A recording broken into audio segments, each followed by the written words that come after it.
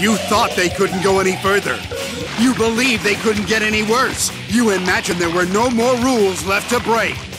But if you thought you had seen the last of the Cramp Twins, you're in for a rude awakening. The world's most incompatible twins are back with a vengeance. Say your prayers, girl pants. Don't miss the Cramp Twins, only in the FoxBox. Why? For pity's sake, why?